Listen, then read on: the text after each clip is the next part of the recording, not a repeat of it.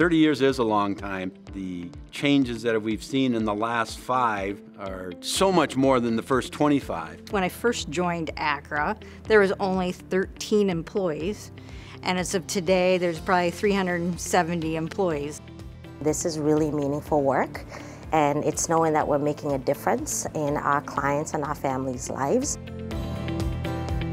Accra has been absolutely vital in getting to where I am today. I definitely would not be here without them. Thank you very much for working so hard to make the lives of your clients better. I am so thankful that Accra has been there for me. We're very, very grateful and very mindful of what Accra's done for us, potentially saved Kyler's life. You constantly, constantly hear how Accra, somebody from Accra, when I get feedback, how they went the extra mile. It's the team that does it. It's, um, it's unbelievable, the, the talent and the passion that we put into this.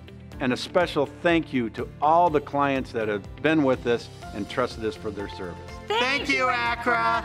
Happy anniversary, Accra family, and here's to 30 more years. Happy anniversary. Happy anniversary, Accra. Woo! Happy anniversary, Accra. Hi, Accra. Happy 30th anniversary.